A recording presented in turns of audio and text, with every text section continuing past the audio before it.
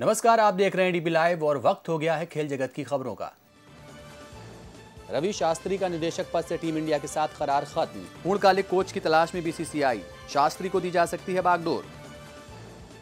New Zealand के grant लियट ने लिया वनडे क्रिकेट से संन्यास। टी में खेलना रखेंगे जारी। टी विश्व कप में हारकर न्यूजीलैंड लौटने के बाद लिया फैसला। इंडिया ओपन सुपर सीरीज़ के सेमीफाइनल में पहुँची सानिया नेहवाल। दक्षिण कोरिया की आठवीं रैंकिंग वाली सुंग जी यून को इक्कीस उन्नीस से हराया। पाकिस्तान क्रिकेट बोर्ड की एक और रिपोर्ट लीक। टी ट्वेंटी विश्व कप में टीम की हार के लिए आफरीदी को ठहराया गया जिम्मेदार। भारत में गैर ज़रूरी बयानबाजी पर भी आफरीदी को फटकार। सेमीफाइनल की हार के बाद विराट ने ट्वीट करके देश को दिलाया भरोसा। कहा, उम्मीद न छोड़े, ज़िंदगी कभी खत्म नहीं होती। कश्मीर के पैरा क्रिकेटर आमिर हुसैन लोन का वीडियो किया शेयर। और ऑस्ट्रेलिया क्रिकेट टीम के पूर्व तेज गेंदबाज ब्रैट ली ने कहा, भारत के हारने से निराश हूँ। विराट कोहली को बताया दुनिया का नंबर वन बल्लेबाज। ये तो थी खेल जगत की खबरें। खबरों के साथ बने रहने के लिए देखते रहिए डीबी लाइव।